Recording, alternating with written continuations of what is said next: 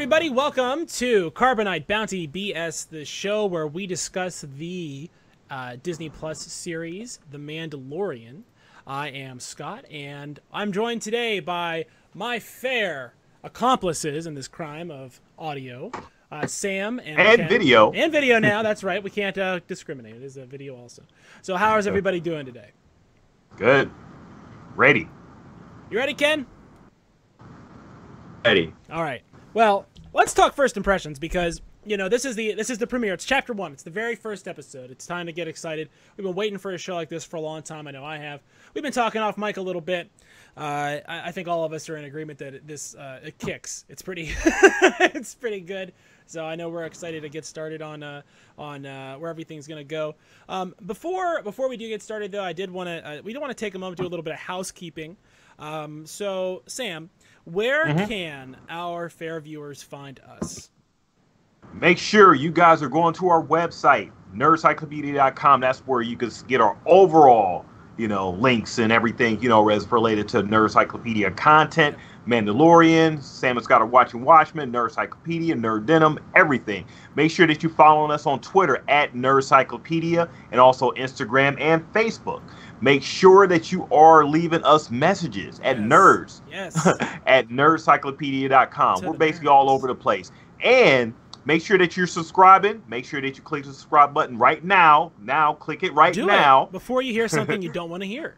Exactly. That is a threat. And make sure that you also subscribe to our podcast. We're all over the podcast nation. Yeah. You know, Apple Podcasts, Spotify, Stitcher, basically anywhere that you hear your um listen to your favorite podcast, we're there. That's right. We made sure we're there, so you can't get rid of us now. It's been too long.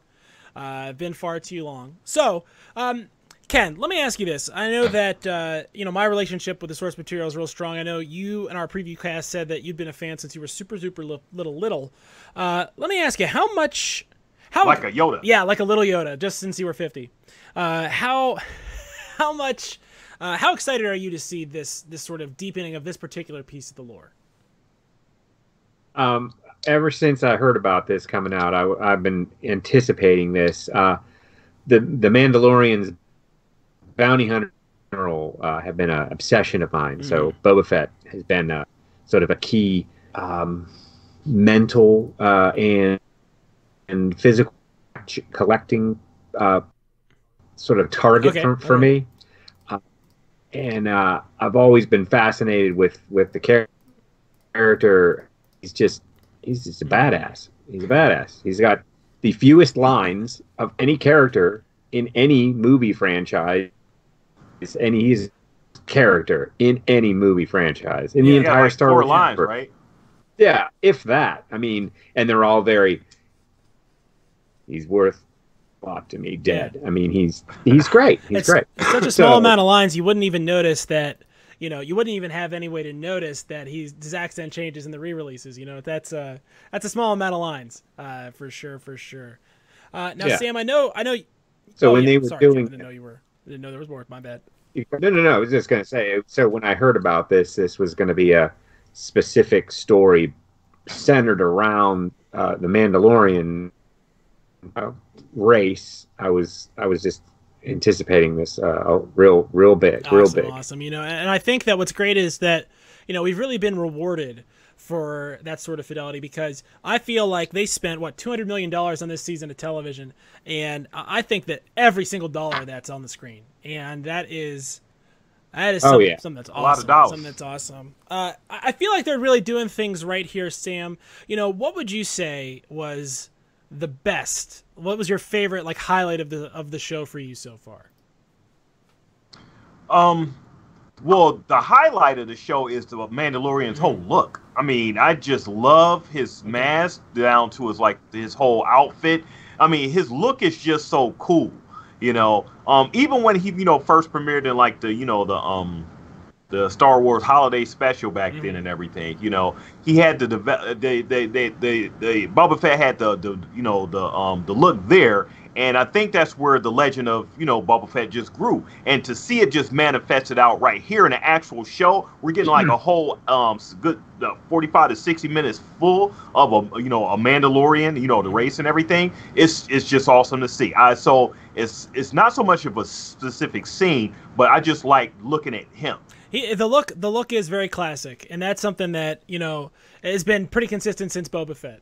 Is that just he's a badass and he looks uh, like a badass? I don't know. That's how that's how you'd explain it to like someone never seen Super it. cool, yeah, super cool. So look. so let's jump into the episode because you know, I'm and I'm just gonna say I'm gonna say a few things myself. So hold on, I got control of this. I'm uh, you know behind the curtain. I'm the one running the, the video.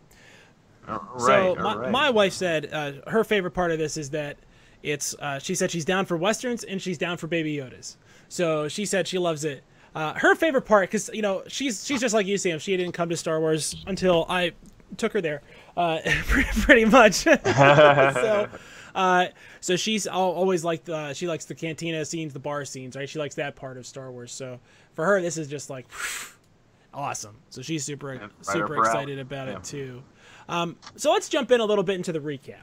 Okay, so let's let's talk about the show a little bit as we go, uh, kind of go through. Uh, I got a lot of specific things to say. I'm sure you guys do. Uh, you know, uh, so let's jump. Let's dive on in. So we kind of Okay. we kind of start on like an icy icy style planet. I don't think it- it's not as cold as hot, but it's pretty cold.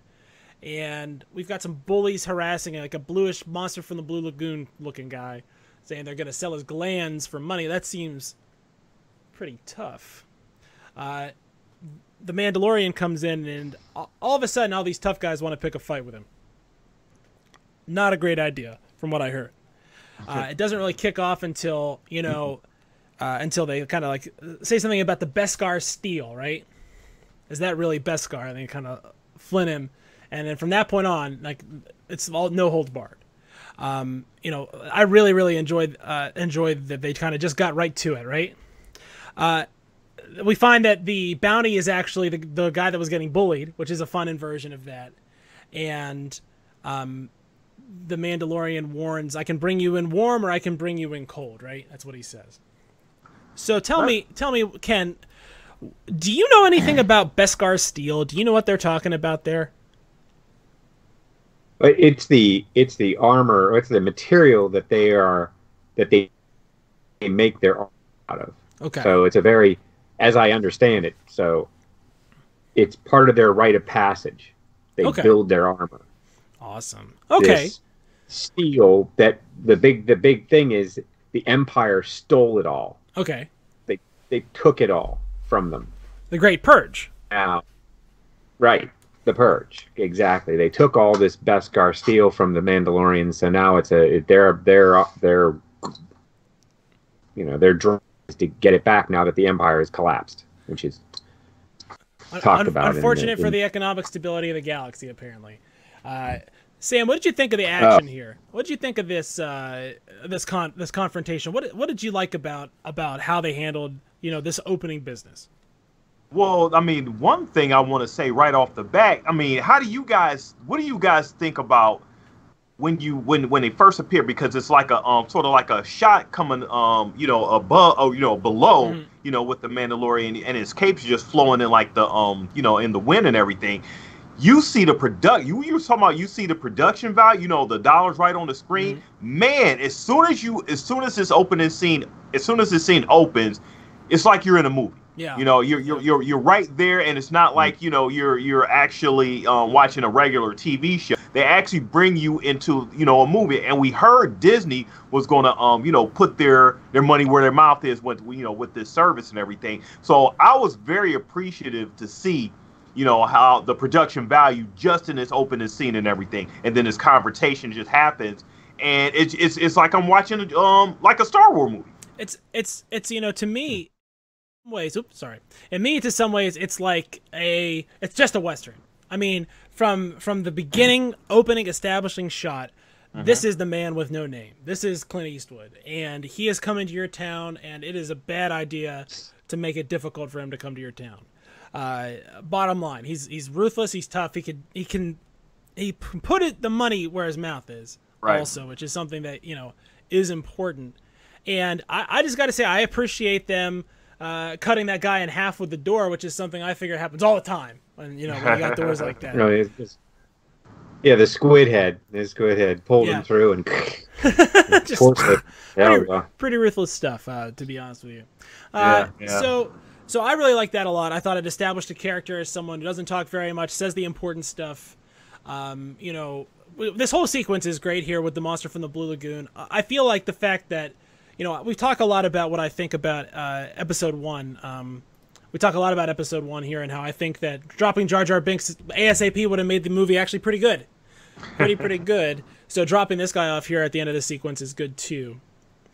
So they There was book- nice action in this sequence. I mean, you know the um, you know the choreography and everything, and Mm-hmm. like I said, I mean, man, uh, Mandalorian is such a cool looking character. Jeez. He's just a, he was like, what did Boba Fett's you know and Ken Ken would remember this I wouldn't remember this but all Boba Fett was like the most popular action figure when it came out no one even knew what he did in the movie right that's kind of Boba Fett's always sort of been that guy yeah, he just he everyone liked the way he looked, and Yeah. he enjoys what he does. yeah he's a little Like, bummed out about noticing He likes right not only the money but the hunt.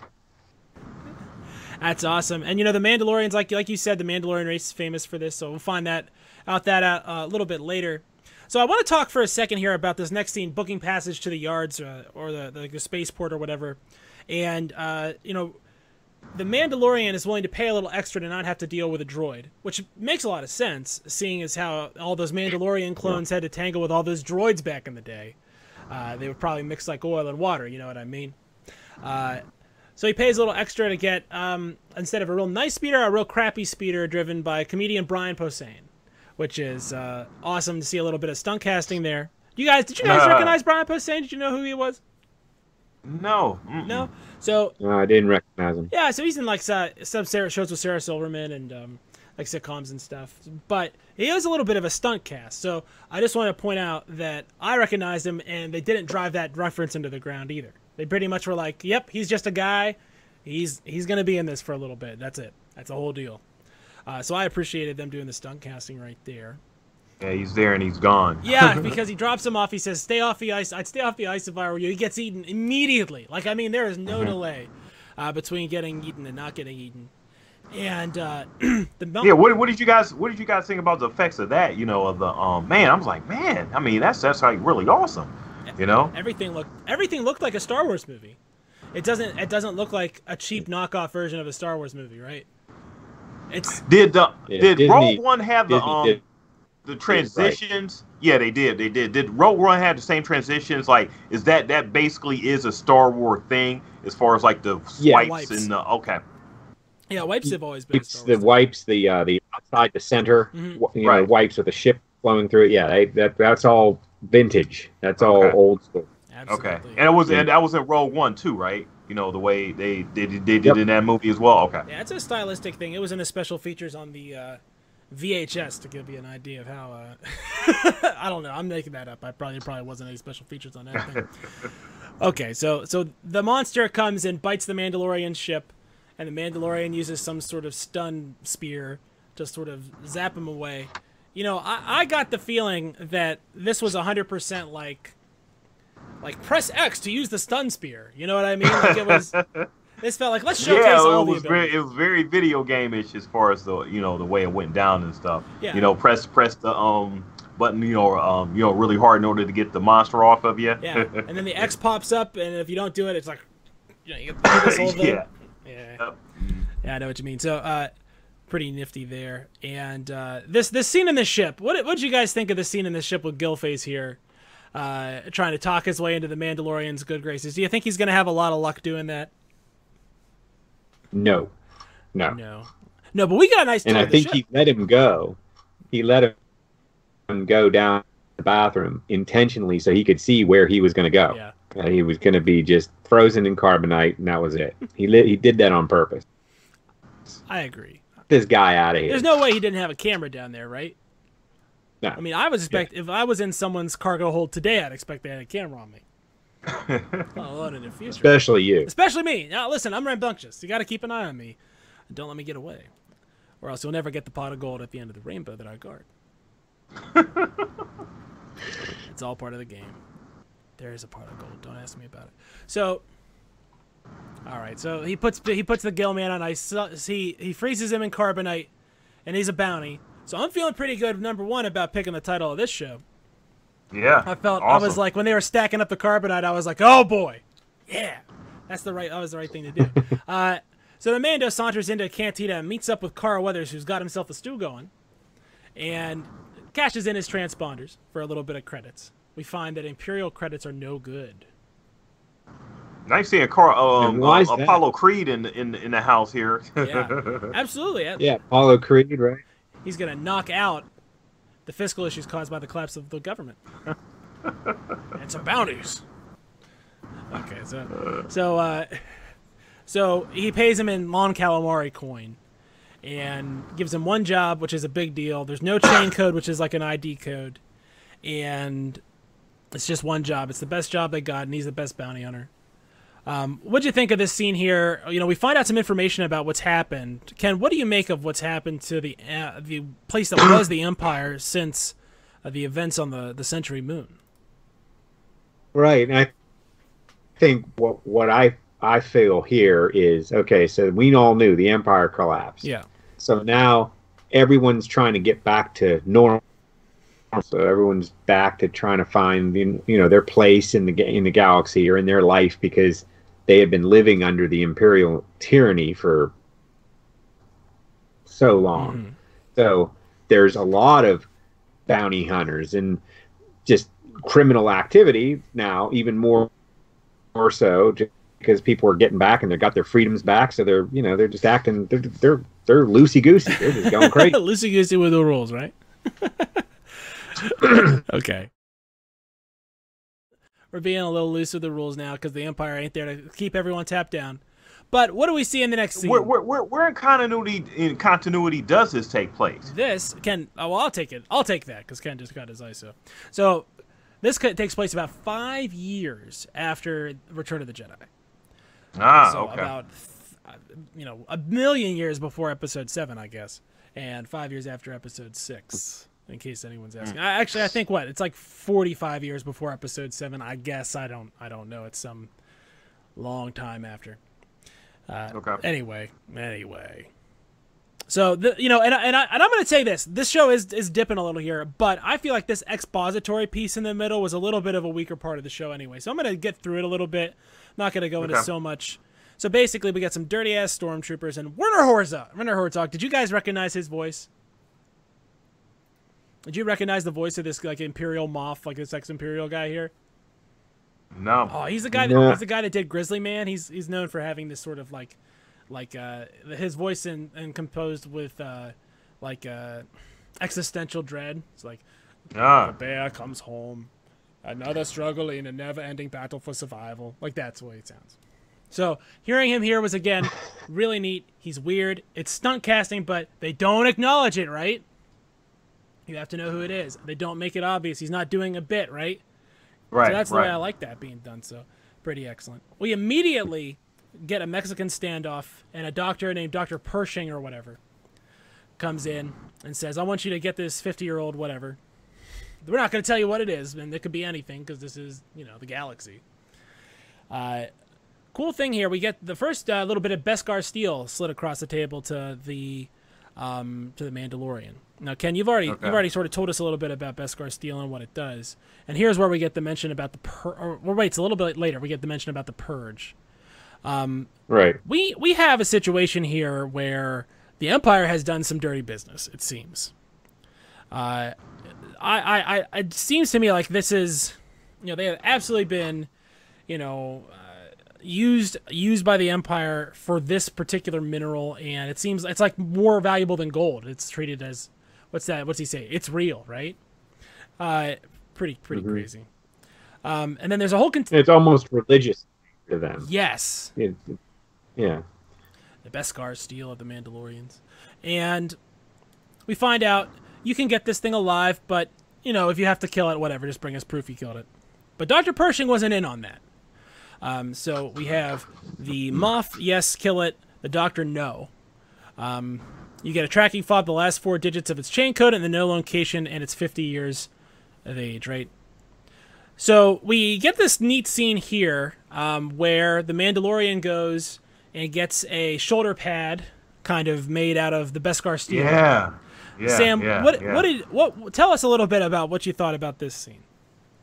Well, first thing that struck me, I was like, okay, this, so there's f- female Mandalorians, you know, because she had like you know a little skirt going on and everything, um, and she had a pretty cool mask. Yeah, So, um, yeah, I mean, it was the um, it, it- like I said, I'm not deep, you know, steep in like you know, um, the Mandalorian lore and everything, but um, I, it was just cool to see like a second one there like that.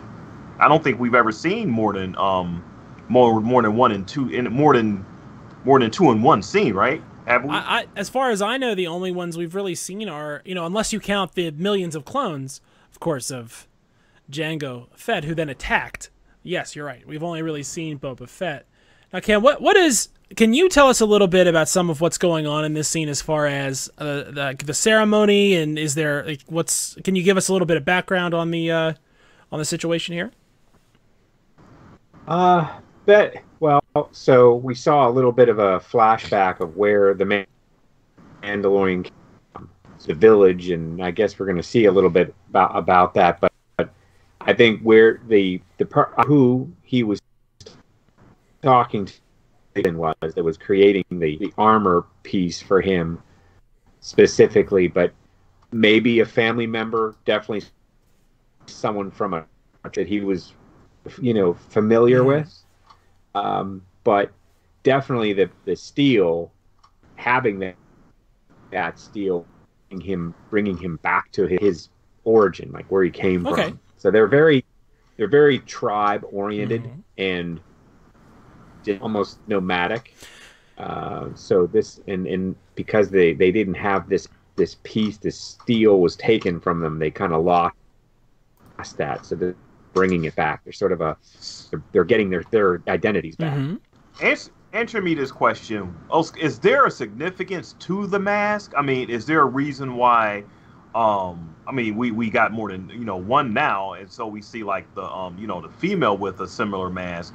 Is the, what is what is the purpose? What is the reason why you know they both actually you know just have their mask on like that or their their helmets? on Well, I like think, I think to hide their identity, right? There's a whole bounty hunter code. Uh, there's a there's a guild. Mhm. that? There's guild uh, requirements, and so you, the robot um, spouts a whole bunch of guild protocol and this Okay. uh, statement and this and that. And I think to the identity of these sort of humanoid bounty hunters, I think it's important that they're covered. Mhm. Okay. Um, but also the, the Mandalorian, like the knights, you know, the, the the the knights of the Round Table, you know, from our mythology, right? So it's kind of the same thing. Just- and they all have similar like you know shapes and forms as far as the um you know the mask the way it's formed because uh, you know the first thing you notice that the the the helmet is sort of formed the same way it's not a similar it's not like you know identical but it's similar in fashion You know what's really cool about customized to the, the Yeah. What's really what's Yeah, really cool about those helmets, and this is something that in the in some of the Boba Fett uh, EU stuff I've read, uh, what they do is is like you can see front and back in the helmet. So like you get one field of view where the back's over here and the front's in the middle. So that's Right. one of the reasons that they always keep it on. Um, pretty nifty. In fact, later on we're gonna see the Mandalorian hold up his viewfinder, and where's he hold it? Where's he hold it, Sam? Do you think does he hold it up here where his eye is, or does he hold it right in the middle? right in the Right Right in the center. center. right in the center. super nifty. So I know because he did that that I'm not just lying, which is pretty rare for me to know that I'm not lying. Uh, so I'll take it. So I'll take it. So let's talk a little bit. So so I want to talk a little bit about the parallels between a western and this show now here because this is this scene specifically is I is where I think it really takes off. Um, it's for me. I mean, the, the obviously, you know, you could pull the opening scene out of Deadwood or um, Tombstone or whatever, but this this piece here, it seems to me like we're we're to equate the Mandalorians with the Native Americans in most of the traditional Western stories. Um, Okay. It seems to me like there's a sort of uh, there's something about being a Mandalorian that everyone knows is special. Um, the opening scene they call him Mando, which can't be his name. I mean, it would be awesome if it was, but I, I can't imagine that it is. And we also have uh, this guide here in this next piece, right? The guide piece, where we have to, the Mandalorian has to learn how to ride a blurg. well, he has to learn how to ride a blurg. Yeah, that was pretty funny. Pretty awesome. But this is, That's a challenge. yeah, so so it's like a corral. There's actually a little literal corral here, and you know this is also where the mu- the music that bum bum bum bum bum bum bum that piece. It's like a horse riding sort of picks up, right? Uh, and and the score is really excellent, as in as in most Star Wars. Um, but I like ah, that what that music really cements it for me. So, what? Yeah, that's um Ludwig Ludwig von Gorson or something like that. He Yeah. did the um he did the soundtrack of uh, Black Panther. You know, he was like the score, you know, for that, and he does some hip hop stuff, you know, for um Childish Gambino and everything. So yeah, he's very diverse in his um you know musical you know um scoring there. Absolutely, absolutely. And, you know, we've got the blurgs. The guide says, I have spoken. And he wants peace to return to his world. Oh yeah, I, I love that. You know, his I have spoken. I mean, that's his definitive I have spoken. he says that a couple times. You can't imagine this guy being anything, you know, you know, you, you can't imagine him being anything more than a one-off. But again, this uh, very deep world full of a lot of cool stuff. I'm gonna that every time I um talk to my kids, so they won't say anything else after I that. have They'll spoken. just totally confused. I have spoken. The guide won't take money, but he will take one blurg. So he will take the blurg. Uh, gotta give him that. And then we have this action scene, which is tremendous. yeah, that's, that's probably the best thing about the um the episode so far. You know, it was pretty deep, pretty decent. you can see and and i love you know and the western angle on this is so uh, ken could you hear spurs when ig 80 whatever is coming is coming up to to the encampment Oh, Wait, when he walks into the square, yeah, absolutely, awesome absolutely. Ching, ching, ching. so the sure. upshot of this it's a, it's an it's a shootout and it's awesome and i won't even try to describe it blow for blow it is awesome um you know, while in the midst of this, the Mandalorian goes against his best judgment, makes a deal with the IG-88 droid, uh, and then we have Chekhov's Gatling gun that shows up. And uh, again, I could see like Christian Bale doing this in 310 to Yuma. You know what I mean? Jumping up on the Gatling gun, taking care of everyone. Uh, uh, what uh, my, I love the droid. I love the way they've been doing droids with the newer Star Wars movies. Uh, this Yeah, this this yeah. droid is hilarious. The, you can yeah, super hilarious. you know when we would when I would watch the original Star Wars movies, I would always think to myself like, you know, what's so bad about droids? Like they'd be like, ah, droids. I don't. We don't serve their kind here, and I'd be like, what's the big deal? I kind of get it now after after watching just this scene, right? You kind of Ken, do you get an idea that maybe some of the uh, the anti-droid behavior we've seen is maybe a little bit founded here? With, well, with the IG, with yeah, the yeah. What bounty hunter droid. the bounty hunter IG droid? Oh well, I, I I agree with what you said. I mean, they're trying to make their personalities a little more personable, uh, a little more human, give them a sense of humor. Uh, and this one definitely had a sense of humor, like for Yeah. real, What'd you make of trying to sell. What'd you make of that self destruction, Sam? Like, what did you make of that running gag on the self destruction? Oh yeah, it was it was it was hilarious and Like, everything. no, don't self destruct yet. Uh, Yeah, that, that was that was straight good old George Lucas right there. I mean, Right. that's the kind of stuff that he liked to put in for his characters to kind of banter with. So you, you know, you, you got involved with, thought they were Yep. funny. yeah. Yeah, yeah, yeah. The way they did, they um, Oh. you know, bounce off of each other and everything during the fight. The way they both know, look at um, the uh, actually, the Gatling gun, man. Yeah, yeah, yeah. You know, afterwards, it's actually brought out the personality of the Mandalorian a lot, lot more during this sequence Mhm. and everything. So you get to see a little bit more of his personality interacting with, you know, um, you know, the droid. Yeah, you get to see again, you know, why he doesn't like the droid. He even says, "Ah, you're not so bad," right? He says you're not so bad, and then uh, we find that that the droid has been sent on a little bit of a different mission, uh, a termination mission, and the 50 year old uh, thing, of the 50 year old person. I don't know, I'm a sentient being. I don't want to be pejorative, but you know, I'm not being anti-alien here. Uh, I'm not. I'm not with the real Empire. Uh, it's a Baby Yoda. Now, a baby Yoda. Didn't expect Baby that. Yoda. You know. now Ken, do you, do you know you know why Hmm. this is such a big deal, right? Like you know that they've The the yeah so, you- so yeah the little a, the the the character whatever it is. Yeah, I'm not.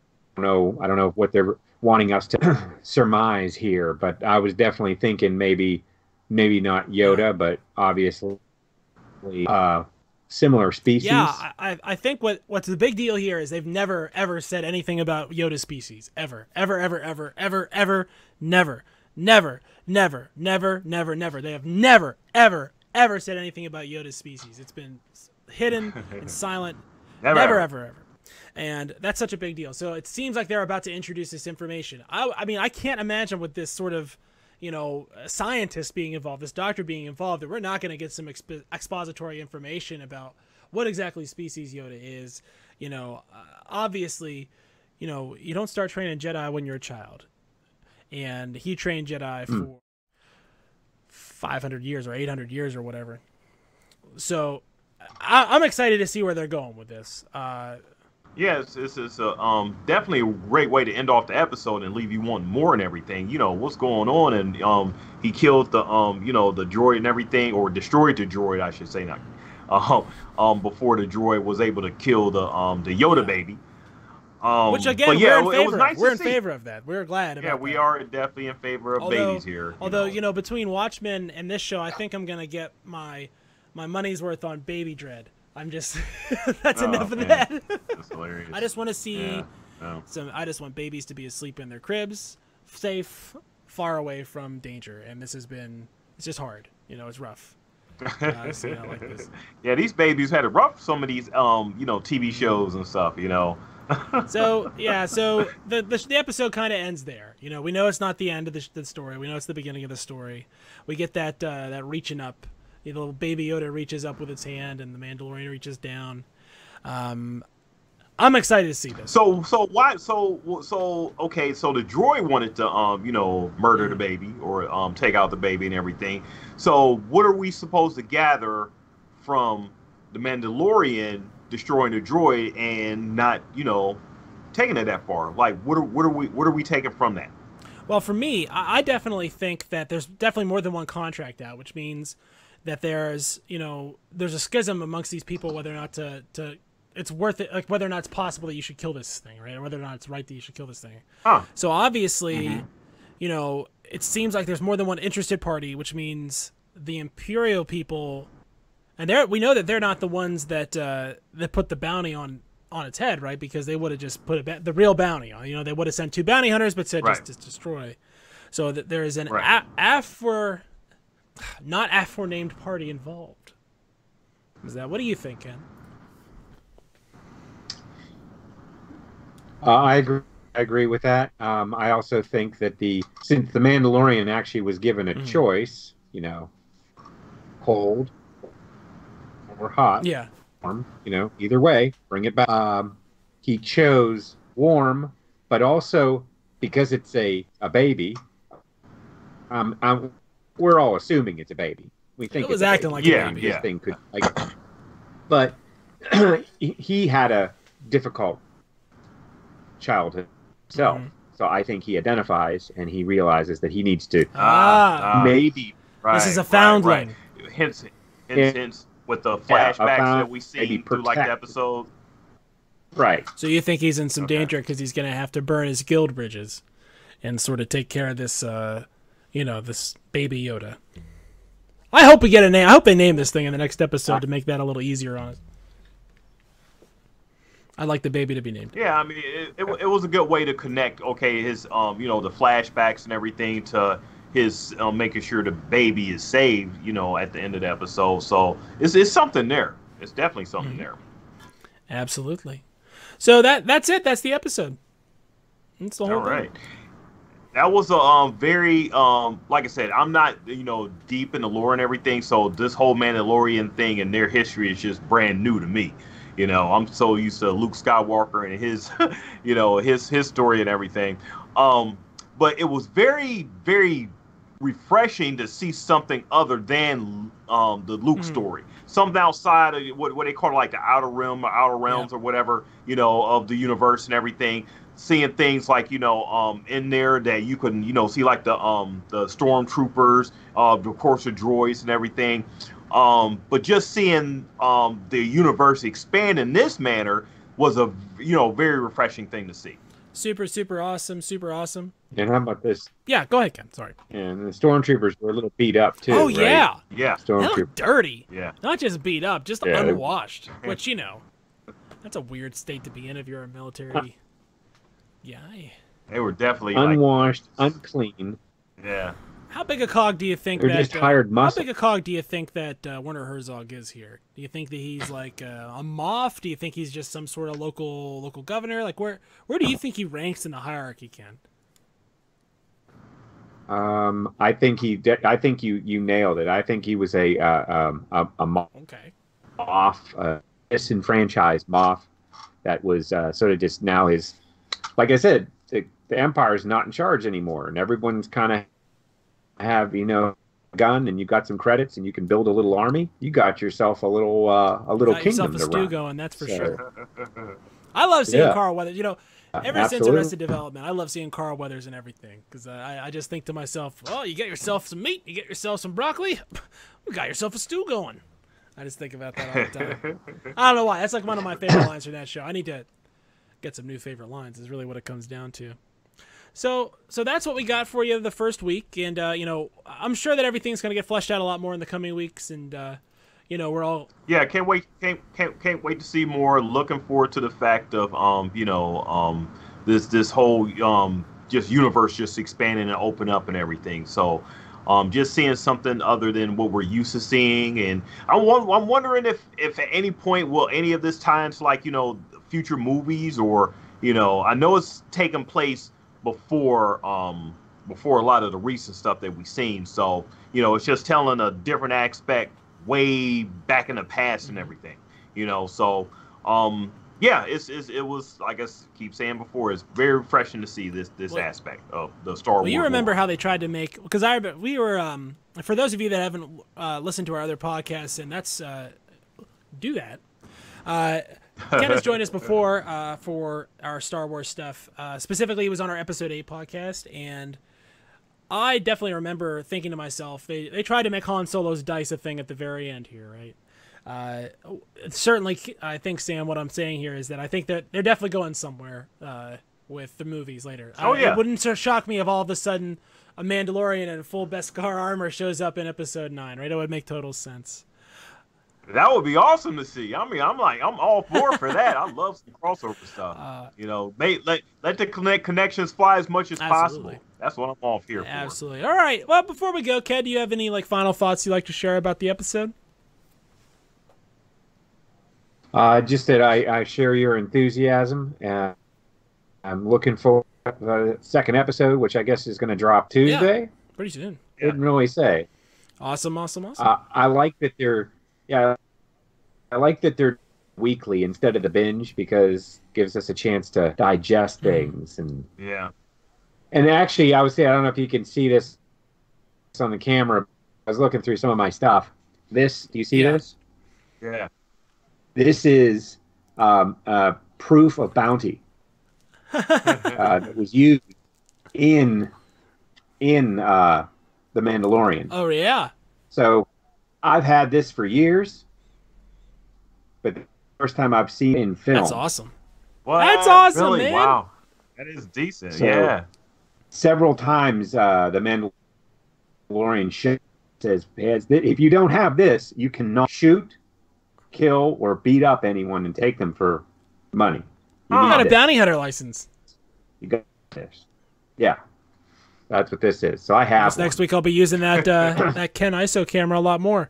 Sam, uh, Sam, what are what are your final thoughts and where can they find us?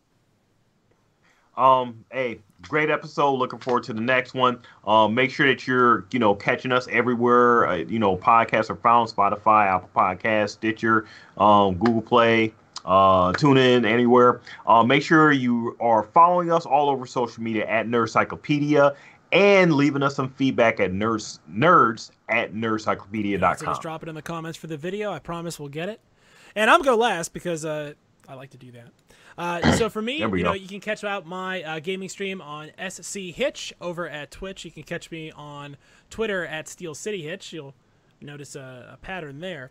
And you know, it just started this week. You know, I'm going to be doing some recapping of Rick and Morty myself uh, as part of my solo effort, which again indicates nothing about the partnership uh, that we're willing to admit publicly. Woo! Nah, just kidding. Oh man, Nah, not nah, yet, cool. not yet. Uh, not but it's called yet, Nobody Cares you know.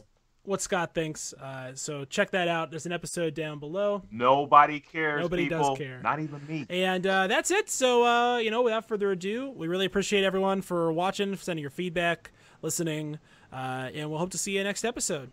See you later. See you next week.